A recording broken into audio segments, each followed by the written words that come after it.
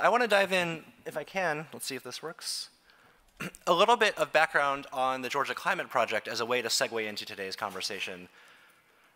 The two guiding questions of the Georgia Climate Project are the two framing questions that our speakers are going to talk about today. Number one, what does a changing climate mean for us as a state? And number two, what can we do about it?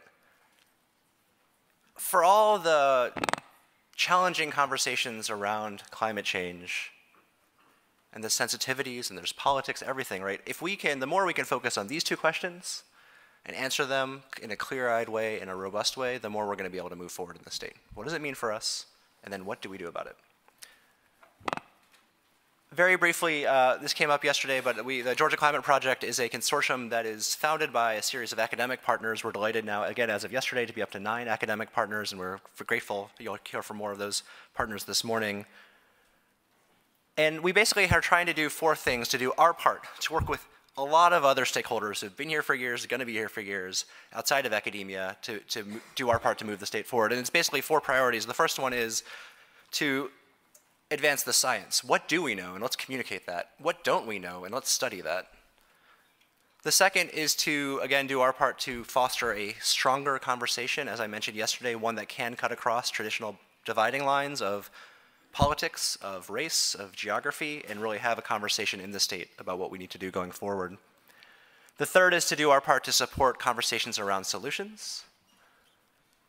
And the idea is if we do A, B, and C, those first three things, all the while we're also helping to work with all of you and the existing teams that are out there to build a stronger network in the state.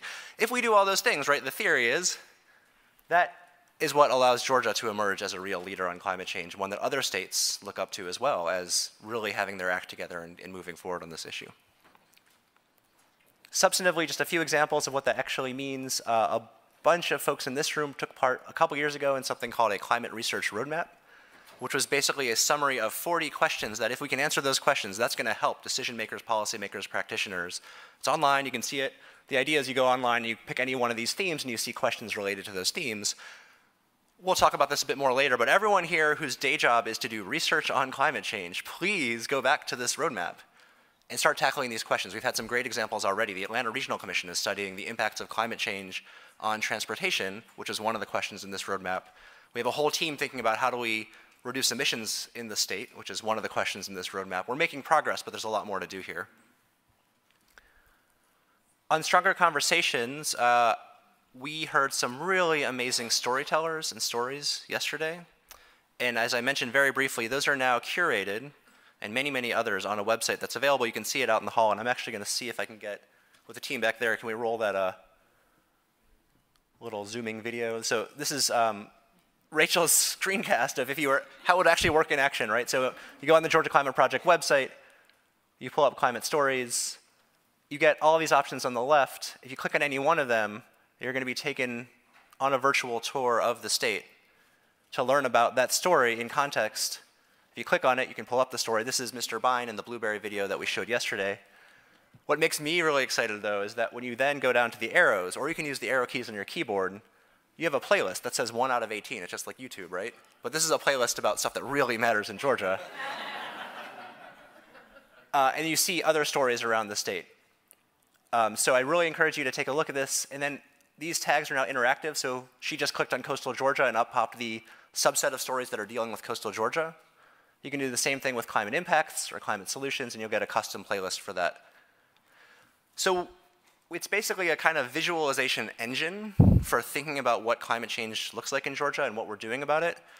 Um, we hope this is just the beginning, and we're going to look to all of you for your advice on what we do with this now that we have it, right? It's one thing to build a mousetrap, another thing to use it. So really your advice welcome about how we use this. I would hope that for K-12 educators, for all of us who are speaking publicly on this issue, for policymakers who want to talk about it with their constituents, that this can be a tool. And also we want to add to this. It's something that Mark Johnson alluded to yesterday from UGA. We've been working with students across the state to build more climate stories, and we want to keep doing that. Solutions, um, we'll talk about this a little bit more at the end, but many of you went to, a lot of you went to the Georgia Drawdown 101 session yesterday. That's a great example of the kind of work that all of us can be doing together to really think through and roll up our sleeves and get out our pencils to think through how do we move forward on climate change. In this case, Georgia Drawdown, for those who don't know, is an effort to take the great work of Project Drawdown globally, which had 100 solutions for reducing emissions, and as great as that is, none of those answers say, here's what you can do in Georgia necessarily. And so what Marilyn Brown and a great team from UGA and Tech and Emory and Georgia State and others have been doing is taking those 100 solutions and looking at them in a Georgia context to figure out, okay, which of those solutions actually makes sense in Georgia? And they made tremendous progress. We'll talk about it at the closing plenary because we want to get your spot, if we get the technology to work, we want you to pick your favorites of those solutions.